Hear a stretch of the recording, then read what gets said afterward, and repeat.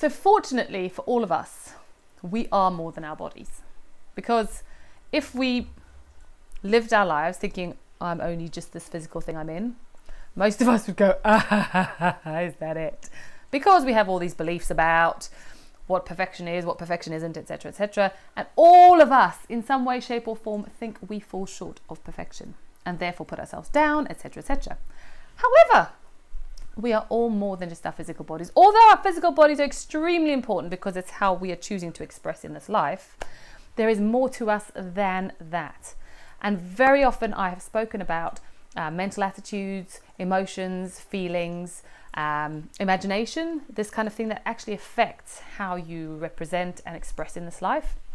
And the paradox of becoming is that in letting go of our obsession with perfecting our physical bodies and just going, I am what I am, and I'm going to experience this life, our physical body actually then becomes aligned to exactly what we're wanting in life. And very often that desire to have the perfect body and be really sexy and attractive, or to be a certain weight, or to be able to do a very specific activity, is not necessarily in alignment with our truest, deepest, heartfelt, this is who I am, why I am, what I'm here for. Often those um, desires or things that we think we really, really, really, really want because they'll make us into something we expect ourselves to be are there because of the world that we how we've interpreted the world around us either from our parents opinions partners opinions uh, things we've experienced as a child that have said if you're that way you get love. If you're that way you're safe. If you're that way you're successful.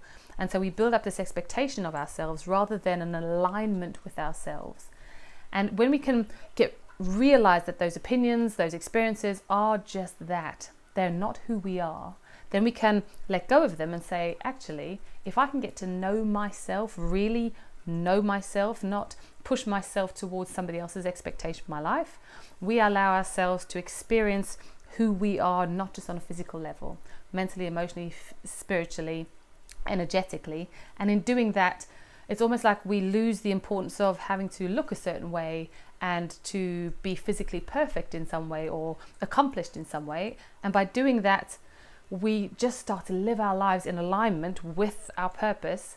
And then, oddly, your body becomes exactly what you need it to be to achieve what's aligned to your soul purpose. That right there is the paradox of becoming.